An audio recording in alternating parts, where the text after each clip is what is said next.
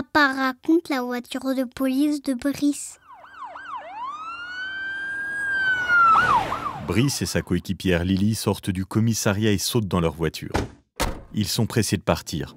Des bandits ont attaqué une banque au centre-ville et ils doivent vite intervenir. Avec leur voiture, toute sirène hurlante, Brice et Lily sont arrivés au moment où les bandits sortaient de la banque armés et cagoulés. À l'aide de son porte-voix, Brice hurle aux bandits de ne plus bouger. Ils sont cernés.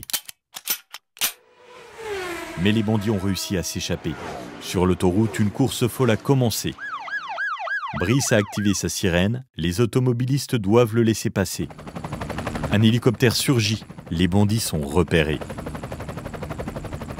Quelques kilomètres plus loin, un barrage a stoppé la course folle des bandits. Brice et Lily surgissent. Ils n'étaient pas loin, ils les ont suivis.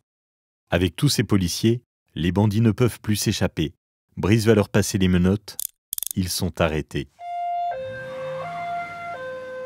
Les bandits sont amenés au poste de police pour y être interrogés. Avant les interrogatoires, ils sont enfermés, car ils ne doivent pas s'évader. Brice et Lily peuvent être fiers, leur mission s'est bien terminée, mais ils doivent vite repartir. Un grave accident a été signalé.